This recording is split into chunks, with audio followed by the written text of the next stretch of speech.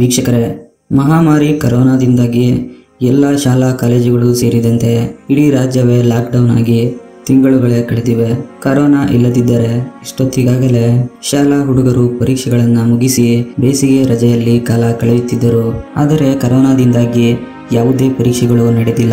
ಈ ನಡುವೆ ಶಿಕ್ಷಣ ಸಚಿವರು ಒಂದರಿಂದ ಒಂಬತ್ತನೇ ತರಗತಿಯವರೆಗೆ ಯಾವುದೇ ಪರೀಕ್ಷೆ ಇಲ್ಲದೆ ಎಲ್ಲರನ್ನೂ ಪಾಸ್ ಮಾಡುವಂತೆ ಆದೇಶ ಹೊರಡಿಸಿದ್ದಾರೆ. ಇದರಿಂದ ಒಂದರಿಂದ ಒಂಬತ್ತನೇ ತರಗತಿಯವರೆಗಿನ ವಿದ್ಯಾರ್ಥಿಗಳು ಫುಲ್ ಖುಷಿಯಾಗಿದ್ದಾರೆ. ಆದರೆ ಈಗ ಆತಂಕದಲ್ಲಿ ದಿನ ಕಳೆಯುತ್ತಿರುವುದು ಎಸ್ ಎಸ್ ಎಲ್ ಸಿ ವಿದ್ಯಾರ್ಥಿಗಳು. ಹೌದು.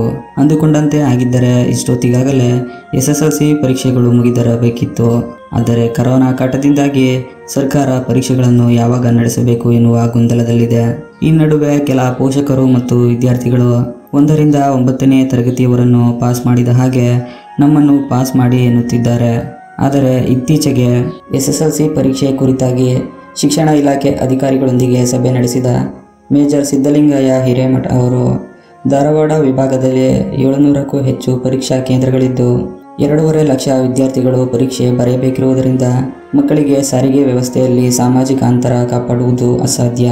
ಅಲ್ಲದೆ ಪರೀಕ್ಷಾ ಕೇಂದ್ರಗಳನ್ನು ಹೆಚ್ಚಿಸುವುದು ಕೂಡ ಕಷ್ಟ ಸಾಧ್ಯ ಈ ಹಿನ್ನೆಲೆಯಲ್ಲಿ ಗ್ರೇಡಿಂಗ್ ಮೂಲಕ ಮಕ್ಕಳ ಫಲಿತಾಂಶ ನೀಡುವುದು ಉತ್ತಮ ಎಂದು ಸಭೆಯಲ್ಲಿ ತೀರ್ಮಾನ ಕೈಗೊಂಡಿದ್ದಾರೆ. ಈ ನಿರ್ಣಯದ ಪ್ರತಿ ಸಾಮಾಜಿಕ ಜಾಲತಾಣಗಳಲ್ಲಿ ಹರಿದಾಡಿರುವುದನ್ನು ಗಮನಿಸಿದ ಸಚಿವರು, ಯಾವುದೇ ಕಾರಣಕ್ಕೂ ಎಸ್ಎಸ್ಎಲ್ಸಿ ಪರೀಕ್ಷೆಗಳನ್ನು ರದ್ದು ಮಾಡುವುದಿಲ್ಲ.